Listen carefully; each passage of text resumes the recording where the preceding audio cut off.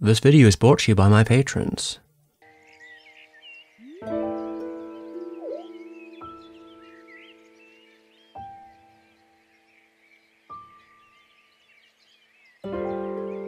This is not Ghibli, but it's damn close. This is Legend of Hei, a Chinese animated feature wearing its influences on its sleeve, created by animator MTJJ.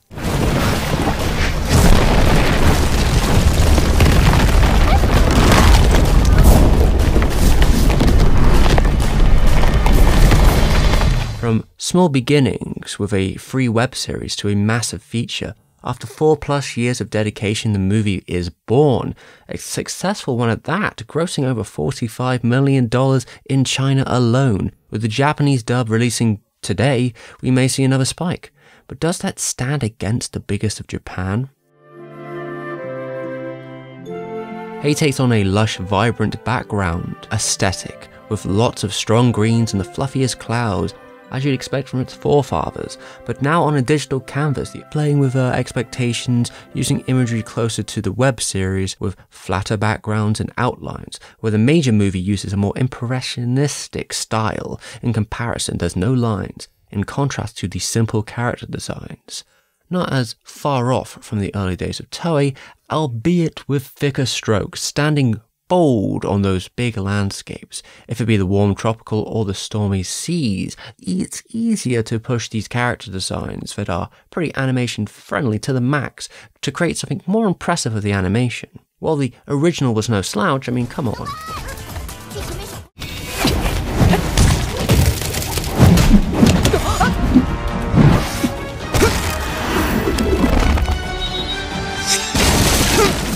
MTJJ's action is defined itself by blistering speed and flowing movement, almost like a paper dragon in the wind, with both the camera and figures moving in tandem, blink and you'll miss it. Add to the chaos is the unique powers of each fighter, recalling a shonen showdown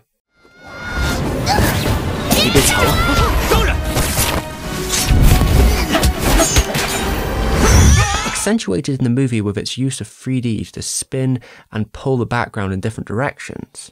The rhythm of the percussion and sound design keeps that momentum going until it slips into slow-mo. As big as those battles are, it is not against playing with audience expectations. Comedy plays a role in the picture, as it did in the show.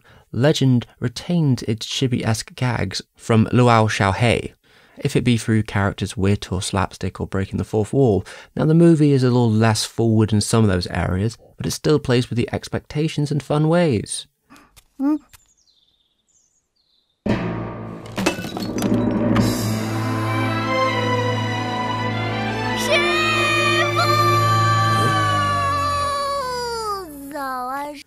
Sometimes the comedy can feel stuck within the limits of its web show origins, which can lead to a dissonance when you put it against what is a pretty glossy and impressive animation set piece, all things considered. But the characters do sell it, so I mean, it's not that bad. There's a large cast, but for the story, they really only focus on three, and most of them are elfin. Now, Elfin are basically in this world sort of a wide berth of magical creatures, some deriving from myth, and they kind of run the gambit from forest spirit to deities, all which live in secret among the modern human world, which is in itself uh, a cause for the divide in the story here.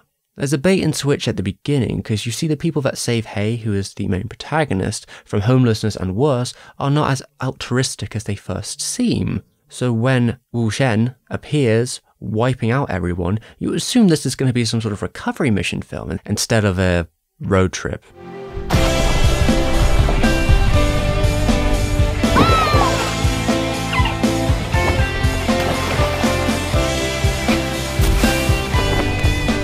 Oh, montages. This film loves its montages, by the way. The burgeoning relationship between Wuxian and Hei is the core dynamic of the movie, while Shen is cool, elegant, and quiet in contrast to Hei's impulsive hot-headedness. Along the way, we're asked about morality and what makes someone good or bad. And can you tell at the first sight of it? Especially when you are an individual with a massive amount of potential and influence. This is definitely something explored in the series constantly. There aren't actually villains within the show, it tends to be more so people with conflicting goals and others who are in desperate situations. This isn't an area where the movie isn't as successful. It takes a simpler approach. While Fengxi has justifications for their actions, and I'm sure I, I can get behind some of it, it does go from 0 to 100 in pretty much an instant. He's basically an anarcho primitivist, wanting the world to return to a pre industrial revolution by any means possible, since humanity stole his home, and continues to strip many lives of the elfin population. But his goals fall straight into terrorism very fast. He has no qualms with killing any innocents at all. So it's less nuanced than I would prefer, in the sake of upping up the spectacle, I suppose it's hard to identify with them as much, especially when you consider there is an alternative here. The guild themselves are people trying to integrate Elfins into the new world while also giving them huge financial support. So in the end, it feels like it's more of a pride game than anything else, than a, a fight for survival. Many of these Elfins make up the side cast, which are pretty much exclusive to the movie. You don't have to like understand any other text to get what's going on here. And there's definitely a couple of highlights within this character realms, even if they are mostly simplistic. Say, for example, Nezha making a cameo seemed fitting to me as he's an icon of Chinese culture and Chinese animation, especially now. I'm the master of my destiny! I'll be the one who decides, and I will not be a demon! Now, that climax goes big, almost as big as uh, any other film you could see from Marvel. It's bombastic enough, especially. We know it's got that city ending technique, the super team, saving people, a climactic fight among titans before Hei finds his true potential. Its conflict is straight up visual splendor, simple and popcorn, but engaging nonetheless, even if it isn't what you'd expect perhaps from a Ghibli finale. But the studio is trying to define its own language along the way while keeping up with others in the competitive market. And surely, in its defense, they do sort of reaffirm what their sort of identity towards the end, while asking the philosophy of like these characters. Are they actually in the wrong, perhaps, or are they just misguided? The film definitely gives the impression that rehabilitation is a possibility, opposed to certain other types of films where it pretty much is just impaling an antagonist and then forgetting about them for the next movie. And it certainly does hit a stride towards the end, especially with its sense of new belonging in Hei's relationship, coming from an unlikely place, which isn't the first time we've seen it in the series either. Most Elfins seem to distrust and hate humans for legitimate reasons to some degree, and Hei starts within a position similar to that, and he learns throughout that humans aren't exactly special. There are good ones, and there are ones that aren't so much. And that path of hate is not something that should drive him, and seeing the dark mirror reflection in front of him, it leads him onto the straight path, with a pretty wholesome ending to put it all together. Notwithstanding that there are some issues with the film, perhaps be it uh, unpolished CGI, probably needs a couple more shaders, but not exactly the worst thing I've seen in terms of compositing. Maybe it's inconsistent scoring or, you know, some of the minor issues I have with the story overall. But considering the situation we're talking about, which is a first time film director working with a pretty much independent studio, this is basically a miracle. Yet what makes me appreciate it all the more is that original web series. From the early episodes where the cast is basically just a couple voice actors and the director's doing most of the animation himself, then seeing it slowly build into a team with sponsorships and merchandise, or you don't have to watch the show to understand the movie, or vice versa really, it can widen the scope of the world. Like you get to understand what happens in Elfin society, like how its hierarchy is, and exactly how the guild can even function. But past that, it's just like a great series to watch. And I think it surpasses the movie in a lot of ways. There may be less action and it tends to take a more laid back approach, but you get to spend some time with those characters in a way that, like, if it turns serious, you really do care. You can watch the story also evolve in terms of its modest opening to something that's quite grand towards the endings. As well as its ingenuity when it comes to its uh, own fight scenes, uh, it's actually a lot of fun to watch. And every episode's only about 5 minutes, which makes it for a pretty comfy experience. You also get to see a lot of the references and things that inspired the creators to begin with.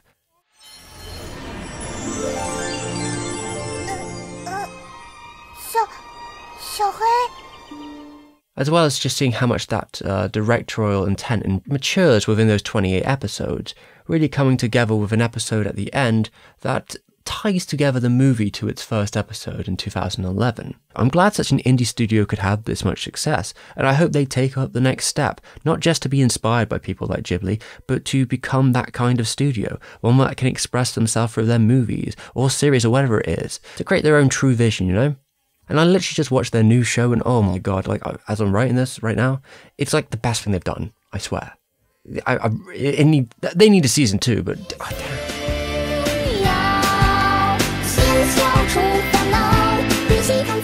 He could almost be a mascot for this whole project going forward. He's definitely cute enough. And if this source is correct, it looks like there's a sequel on the way. Like it or not, the world of Chinese animation is growing. In Han Fangjiang's article, he states that the change in philosophy within the younger generation in China towards animation and video games as a core part of their life now makes them want to express themselves through those mediums. If that means more independent studios working on these kind of projects, then I definitely will look forward to it. We have experimented with dozens of various art forms in creating the film, and this is our art exploration in possibly every direction until we could find the current tone. So I'm hoping there'll be actually a proper full release in the West coming out at some point. I mean, I'm hearing that Shout Factory may uh, may be the one doing it because they claimed this video like three times when I was editing it. So certainly they must have something to do with it, and perhaps they'll start claiming it again. But realistically, I do want people to go out and buy it and support the thing. I would love to see a collection where you get the original series and the movie, you know, and uh, maybe maybe that second movie if that's coming out. I'd love to see it all. I'd love to see it all somewhere. Now, usually this is the part where my cat would thank my patrons, but she's kind of asleep, like over there somewhere, somewhere over there. She's she's like curled up. She she's quiet, but we are thinking in terms of patrons that there may be uh, some goals coming up. Some goals including the cat camera, so I can always keep a first person view of any time she bursts into my video and ruins my recording. So that would be fun, among a bunch of other stuff. Also, got to thank specifically Joven, that Puerto Rican guy, and Daniel Straight for the help. Along with everyone else, we should have plenty of videos coming in December because it is the month of Madhouse Madness, um, and a couple more in the next year. Things are going to keep rolling. Now, getting on to other stuff, there's a collab coming in the future, maybe the next couple of days, maybe it's already out, I don't know, but it's going to be on Japanese music and I'm going to be on a different channel and I will be linking it here somewhere up here if it's already happened. So look forward to new and wondrous takes on stupid things in the future. Catch you then.